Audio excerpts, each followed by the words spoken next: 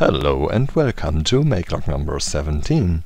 In this video I would like to show you why and how I built this outside station to quantify afterglows and to enable an automatic detection of afterglows. Why did I build this station? Of course for me the technical side is very interesting with a microcontroller, database, Raspberry Pi and gathering these measurement data over a very long period of time.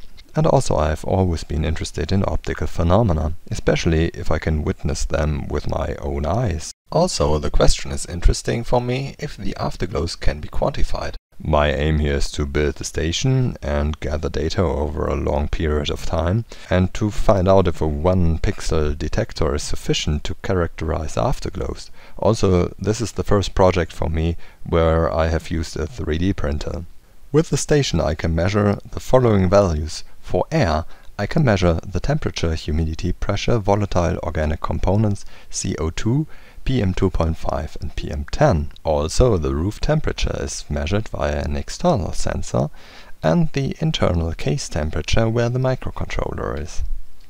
Optical data measured include the ultraviolet values from the sky and an RGB sensor pointing to the east and another RGB sensor pointing to the west. The latter two sensors are relevant for the afterglow detection. Also, I have added a lightning detector and, because I had a free pin on the microcontroller, a tipping bucket rain gauge. Here you see Node RED. The data from the weather station is sent every 5 seconds via MQTT. It is combined and fed into the Influx database. For displaying the data I use Grafana. Here on the right you see all the values from the air measurements, so air pressure, air resistance, temperature from the inside of the box and the roof, the air temperature measured in the pipe, the air humidity, and air particulate matter and CO2. On the left we have the precipitation. As you can see there was no precipitation. The data from the lightning detection sensor, ignore this, I couldn't get the sensor to give me reliable results yet. We have ultraviolet measurements, we have the raw color sensor outputs, we have the lux values from the east and the west, and we have the color temperature. This is yesterday, and I would like to point out this day from yesterday. And as you can see, there was a drop in color temperature in the evening.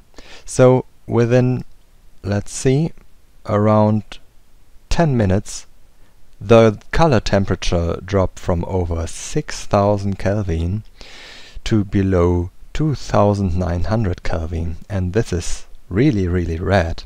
This is the west, where the sun was going down.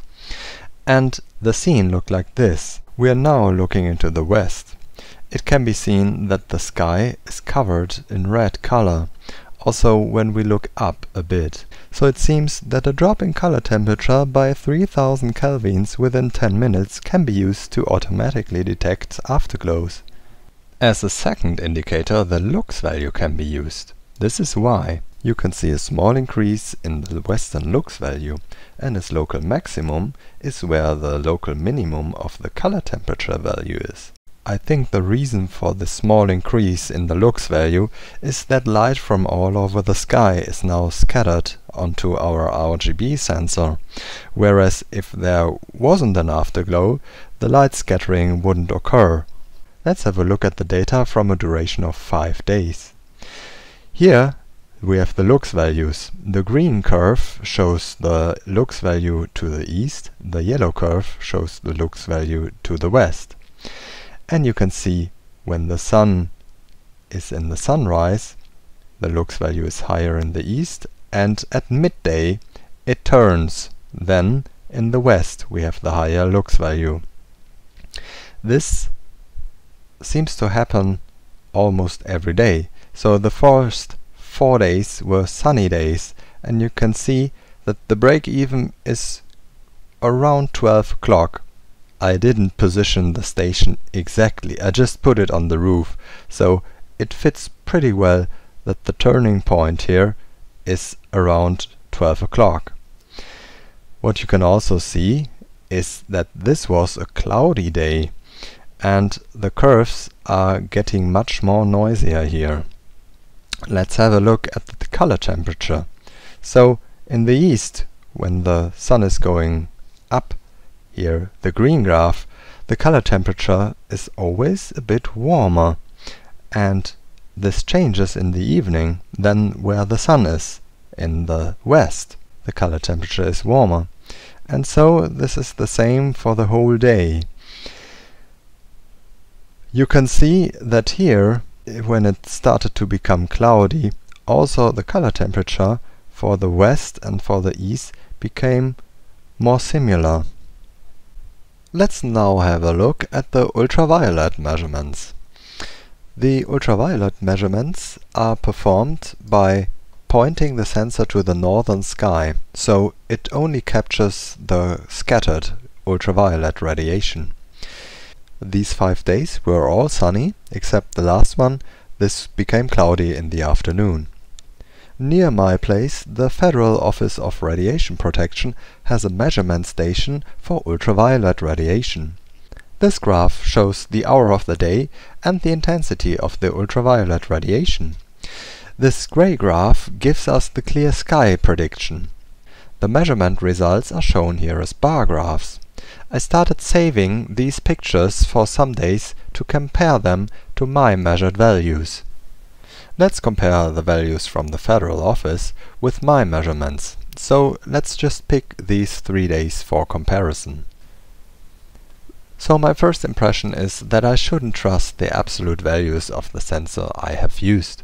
As you can see, on this day the sensor gave me a higher UV index than on this day, but from the official measurements you can see that we had a higher value on this day compared to this day.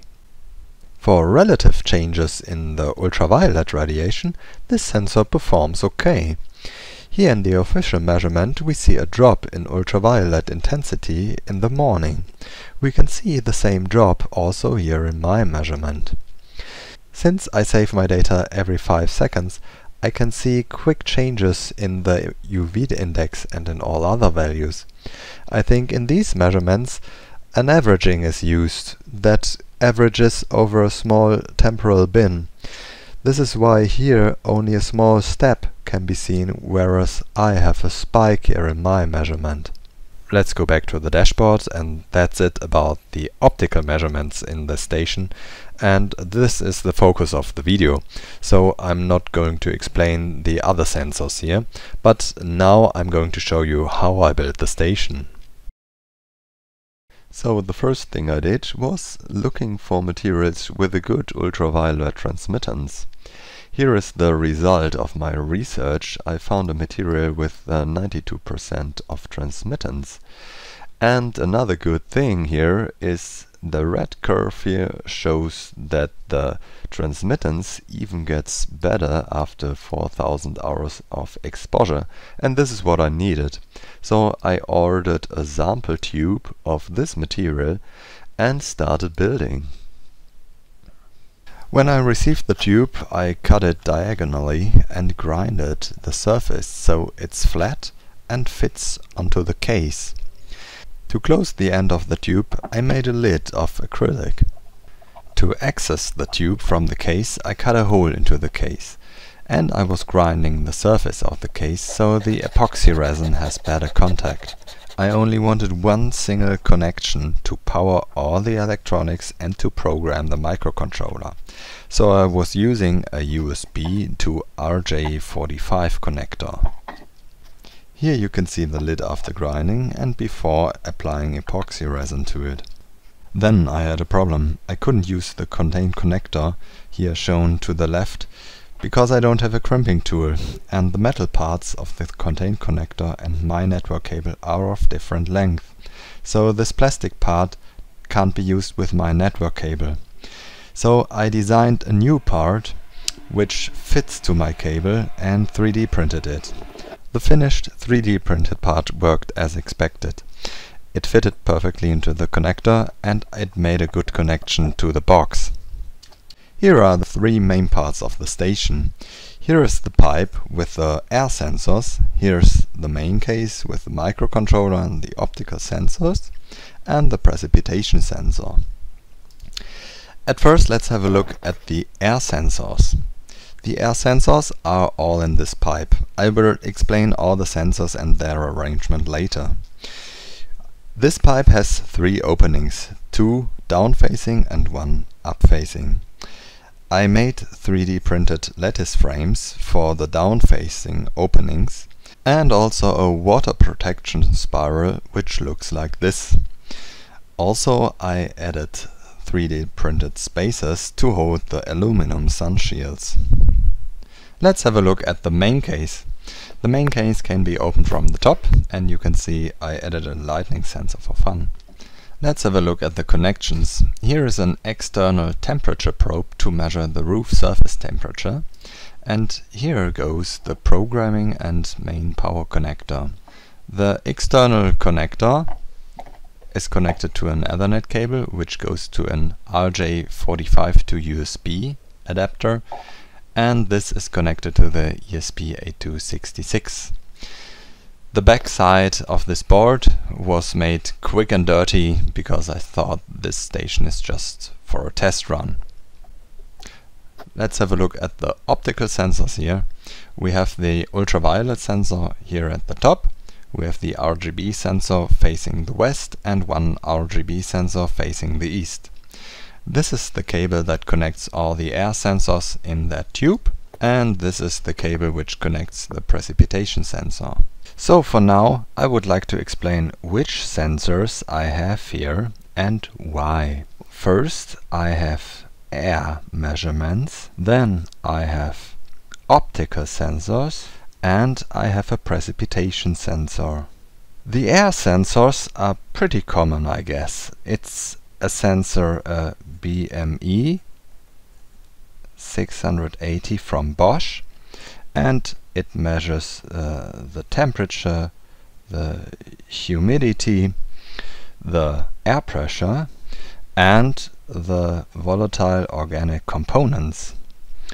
Furthermore, I have an MHZ19 for CO2 measurement and an SDS011 for the particle measurement PM2.5 and PM10.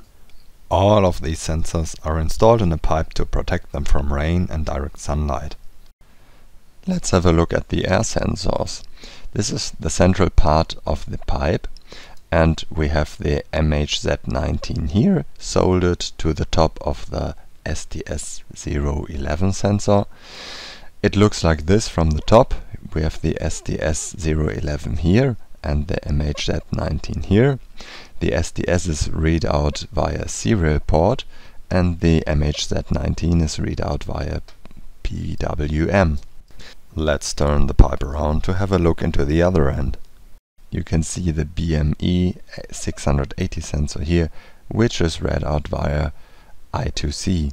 The optical sensors are quite uncommon for a weather station.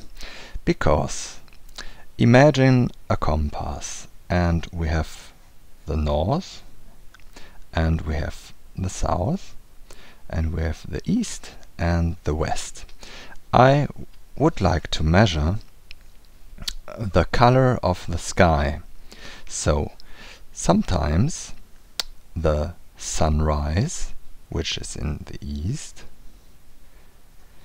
is of a very red color and sometimes the sunset, which is in the west, has a red color. And I would like to measure the color of the sunrise and the sunset and compare, because is there something in common? If there's a day with a red sunrise, will also the sunset be red? And does this have something to do with the particles in the air? So I would like to measure the the color temperature of the sky and this was uh, yeah quite a task to fulfill because if the sun is shining directly onto the sensor, the sensor is fully saturated and I can't measure the color temperature anymore. I will show you later how I designed and printed the 3D case to prevent the sun from saturating the sensors. I have an RGB sensor pointing to the west and an RGB sensor pointing to the uh, east and they also have a common channel so these are two sensors here. And I needed a um, I2C uh, switch here because they have the same fixed address. And for sensors here I was using a TCS 34725 for both. And additionally I have an ultraviolet sensor uh, VEML 6075 for ultraviolet measurements. I have two DS18B20 temperature sensors. One is outside, measuring the roof surface temperature, and the other is inside this case to check that the case doesn't overheat when it's exposed to the sun. And I have a precipitation sensor, which is just one reed contact and connected to the interrupt of the ESP8266. I have used a tipping bucket precipitation sensor which consists of a fixed part where the water enters from the top in the middle. And we have a moving part, the scale part, with a magnet in the divider. Here we have two water reservoirs. So we have the fixed part and the scale-like part and when uh, the water comes in from the middle, fills one bucket until the scale-like part flicks. The magnet passes by the reed switch. I measured the amount of each reservoir here with a syringe and from here I could calculate the precipitation values in the ESP8266. Here we see the arrangement of the optical sensors. We have the two RGB sensors here and the ultraviolet sensor and an I2C multiplexer in the middle. This sensor here looks into the west and we have to prevent it from looking directly into the sun also as the other sensor because then it will be fully saturated and it cannot determine the sky's color index. So we need to have a shadow wall in front of it so it only looks into the sky and not into the sun. The sun's position changes throughout the year and also throughout the day. So we have to find a way that the two RGB sensors are in shadow for the whole year. The Wikipedia page explains this pretty well. In the summer solstice, the sun has its highest point. In the winter solstice, it has its lowest point. I can design it for this case, but also the sun changes over the day. This graph shows the sun's position throughout the year and for each time of the day, for each day in the year. The outer circle indicate the degrees of the azimuth, whereas the inner circles indicate the inclination. The task is to design a case which casts a shadow onto both sensors throughout the day in summer solstice and throughout the day in winter solstice throughout the year. These curves help to find an appropriate curve in the CAD tool where this case was designed. So why does this case have this shape with the long holes here in the east and in the west? I started with this tube which is a model of the transparent tube which contains the optical sensors. The sensors are arranged here. Here is the ultraviolet sensor in the middle here is the sensor, the RGB sensor looking to the west and here is the RGB sensor looking to the east. I designed the sun's path in summer solstice, which I can activate here. This is a model of the sun's path at the place where I live on June 21st, the summer solstice. This is south, this is north, and this is east, and this is the west. So the sun on sunrise comes up here at this point and travels along this path until it reaches its highest point and then goes back and here we are under the horizon we have the sunset. The case that I have built looks like this. So why do we have this shape with the long holes here on both sides? You can see if we look from the sun's view and the sensor for looking into the east is placed here. From the sun's view we can never see the sensor itself. It doesn't matter where we are, we can never look into the sensor. Behind this case there are the pipes with the air sensors and behind the pipes there's a chimney. So the chimney casts a shadow onto the case when the sun is in the south. So this case is designed to block the sun from reaching the sensors when the sun is in the east and in the west. To prevent the case from heating up, I have added two wings on this side and on this side. The sun will strike this surface and heat it up, and also on the other side. But because there's air in between, it prevents the inner case to heat up. The same applies to the wing on the other side, also there is air in between. When the sun travels along this path, it will never shine onto the sensor now. Also, the sensor only sees the parts of the sky with a lower inclination where the afterglow usually happens. In the middle of the case there is a hole for the ultraviolet sensor which is placed here. To prevent light scattering from the outer case into the sensor I have chosen a round shape here and later I have painted this area black. So how does this case look like when it's built?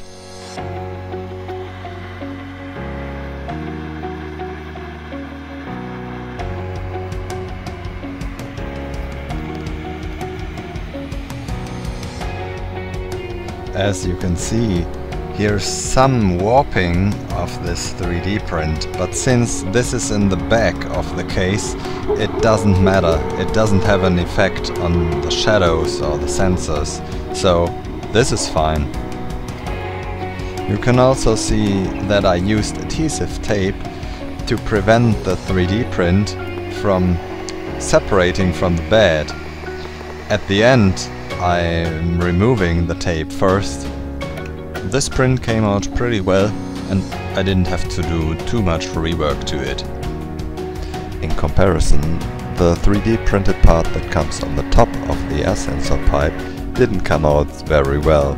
It lost contact to the bed and I removed the part which wasn't well printed. I have no idea how well PLA withstands outside weather conditions, so I applied a clear coating to it. I used epoxy resin to glue aluminum foil to the shadow wings to better reflect the sunlight. After applying the black paint, I assembled the station. By using wire, I can connect all the components firmly together. Using wires also facilitates later servicing. Here in this thermal camera footage you can see that it was a good idea to separate the air sensors from the microcontroller case. So I'm removing the water protection spiral and the shadow case and you can see that the microcontroller emits the most heat of all of the components here. This was a quite long video so I hope nevertheless you enjoyed it and maybe you have learned something. So see you soon!